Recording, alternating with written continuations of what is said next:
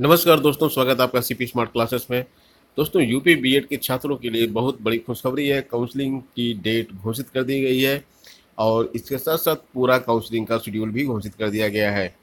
दोस्तों काउंसलिंग आपकी शुरू होने जा रही है। काउंसलिंग में आप पार्टिसिपेट करेंगे, लेकिन आपको कुछ गलतियाँ नहीं करनी है क्योंकि ये गलतियाँ आपके ऊपर पड़ेंगी भारी। तो दोस्तों, आइए देखते हैं पूरी न्यूज़ और बताते हैं आपको कि क्या गलती आपको नहीं करनी है। दोस्तों, पाँच लाख छाछठ हज़ार तीन सौ निन्यानवे छात्र जो परीक्षा में भाग लिए थे, उनके लिए आज बहुत अच्छी खबर है। इनकी रैंक जो है, उनतीस मई को डिसाइड कर दी गई थी और अभी तक काउंसलिंग इनकी शुरू नहीं हो रही थी। तो काउंसलिंग जो है, अब छः जून से शुरू होने जा रही है और ये काउंसलिंग दो चरणों में होगी और विश्वविद्यालय की वेबसाइट पर आज से आपको काउंसलिंग का शेड्यूल दिखेगा। आप जाकर वहाँ पे विश्वविद्यालय की साइट पर देख सकते हैं। काउंसलिंग का पूरा पूरा शेड्यूल वहाँ पे दिया हुआ है। छः तारीख से काउंसलिंग शुरू हो जाएगी। दो चरणों में काउंसलिंग चलेगी। पहले चरण में छः तारीख को शुरू होगी काउंसलिंग जो तो उसमें छः से अट्ठारह जून पहला चरण है। और दूसरा चरण है पंद्रह से अट्ठाईस जून।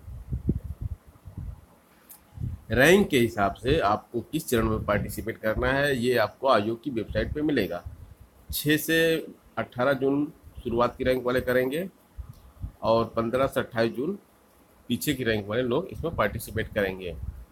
और इन दो चरणों में अगर आपकी काउंसलिंग छूट जाती है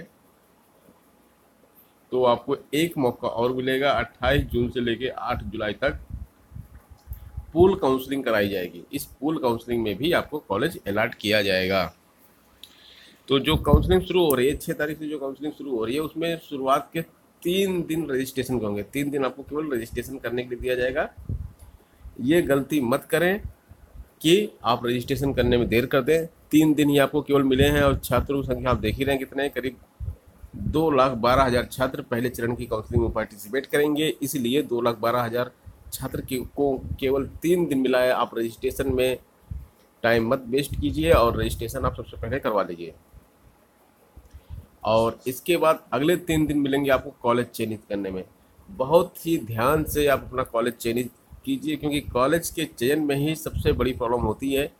अगर आपने गलत कॉलेज चयन कर लिए तो आपको जो है मनपसंद कॉलेज नहीं मिलता है। अगर आपको कोई भी प्रॉब्लम है, किसी भी प्रकार की हेल्प चाहिए तो आप पूछ सकते हैं कमेंट करके। और एक इसका व्हाट्सएप ग्रुप भी हमारे पास चल रहा है। उस व्हाट्सएप ग्रुप को आप ज्वाइन कर सकते हैं। वहाँ आपकी तरह सेलेक्टेड लोग हैं। वो आपकी हेल्प करेंगे कि कौन सा कॉलेज अच्छा है। आप लोग आपस में चर्चा कर सकते हैं। काउंसलिंग में अगर आपको कोई प्रॉब्लम आ रही है तो आपके प्रश्नों का उत्तर आपके सहपाठी लोग दे देंगे, जो बी में सेलेक्ट हुए हैं। उन्हीं का ग्रुप है वो। लिंक मैं नीचे दे दूँगा डिस्क्रिप्शन बॉक्स में। वहाँ से आप क्लिक करके ग्रुप ज्वाइन कर सकते हैं। और जो कॉलेज सेलेक्ट करने के बाद फिर दो दिन और मिलेंगे आपको फ़ीस जमा करने की प्रक्रिया में, पूरी करने के लिए। तो three plus three plus two की प्रक्रिया है, तीन दिन आप रजिस्ट्रेशन करवाइए, तीन दिन कॉलेज चयन कीजिए, दो दिन में फ़ीस जमा कीजिए। इसके बाद पहले चरण की जब काउंसलिंग समाप्त हो जाएगी तो सेकंड चरण की काउंसलिंग शुरू होगी। सेकंड चरण की काउंसलिंग में क्या होगा रजिस्ट्रेशन के बाद आपको तुरंत कॉलेज का विकल्प देखना शुरू हो जाएगा। आप रजिस्ट्रेशन करवाइए, उसके तुरंत बाद जो है कॉलेज का विकल्प उसमें भर दीजिए। तो सेकंड चरण वालों को पहले से माइंड मेकअप करके रखना पड़ेगा कि हमको जो है कॉलेज भी चुनना है उसी के टाइम पे। और एक जुलाई से सत्र शुरू कर दिया जाएगा। जो आपका कॉलेज का सत्र है, वो एक जुलाई से शुरू कर दिया जाएगा। इस बीच में अगर कुछ लोग छूट जाते हैं तो 28 जून से लेके 8 जुलाई तक एक पूल काउंसलिंग कराई जाएगी। आप उसमें पार्टिसिपेट कर सकते हैं। तो दोस्तों, ये थी अपडेट बीएड की काउंसलिंग से संबंधित। ये गुड न्यूज़ है आप लोगों के लिए। मिलते हैं नेक्स्ट वीडियो में एक नई अपडेट के साथ। धन्यवाद।